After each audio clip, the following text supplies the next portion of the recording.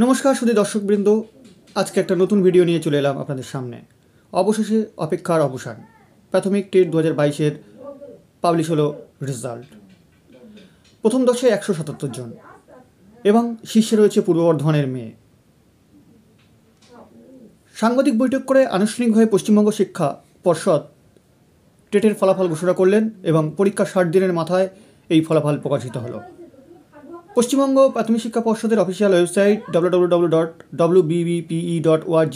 এবং WBB primary education dot থেকে ফলাফল দেখা যাবে। প্রকাশিত হলো দু হাজার বাইশ সালের প্রাথমিক টেটের ফলাফল। পশ্চিমবঙ্গ প্রাথমিক শিক্ষা পর্ষদের তরফে জানানো হয়েছে, প্রথম দশে রয়েছেন মোট একশো সাতাত্তর জন, প্রথম স্থানে রয়েছেন পূর্ব বর্ধমানের ইনা সিং চারজন করে দ্বিতীয় এবং তৃতীয় স্থানে আছে। দু হাজার বাইশ সালের এই ফলাফলের টাটকা আপডেট পেতে আপনারা নজর রাখুন। চারজন তৃতীয় স্থানে রয়েছে, মেহেদি হাসান, উত্তর চব্বিশ পরগনা, বিকাশ ভক্ত, পূর্ব মেদিনীপুর, মনামী অধিকার পশ্চিম মেদিনীপুর, প্রহ্লাদ মণ্ডল, বাঁকুড়া। তারা পেয়েছেন একশো একত্রিশ নম্বর করে।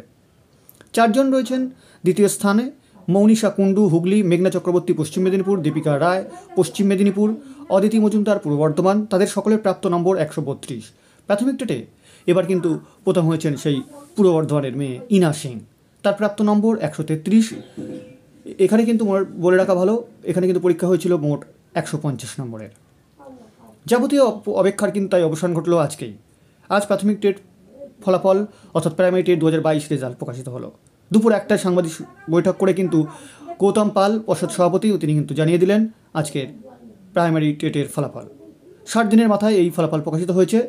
আমি আবার বলে দিচ্ছি W W W dot W BBPE dot ORG এবং W BB primary education dot ORG থেকে ফলাফল দেখা যাবে। আজকের মতো এই পর্ব রেখে দিলাম। ধন্যবাদ সবাইকে।